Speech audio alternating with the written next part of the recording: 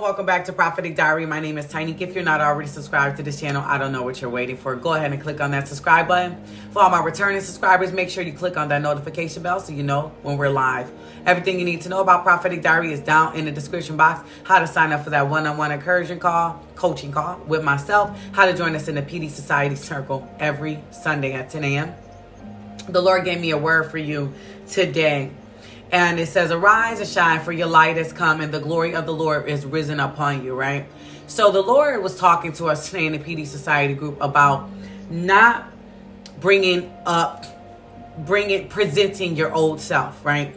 Where we're constantly going back to who we were and what happened in the past with our kingdom spouses or our past relationships. So we're constantly presenting to them our old self. But the Lord wants us to present our new selves, right? Like Esther had to present her new self when she be, went before the king.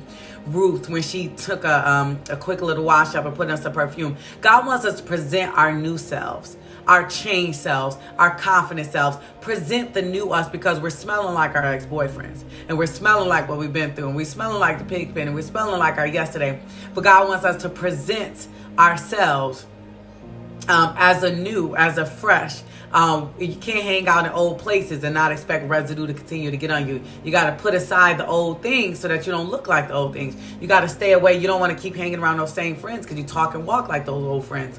So you got to get rid of, you know, the attitude problem that you pick up from these people in that groups. Maybe you can't hang with that group because that residue is, is, is starting to get on you and spot your clothing. So God is saying get away from that stuff so that you can present yourself anew. Ruth, I need you to leave Orpah and leave the past because I need to present you as a new. So God is saying your spouse is waiting to you to be presented as new. Your spouse is yearning. Your spouse wants to see the new you. Yes, they do. So glory be to God. If you feel led us on to this word, hashtag the new me.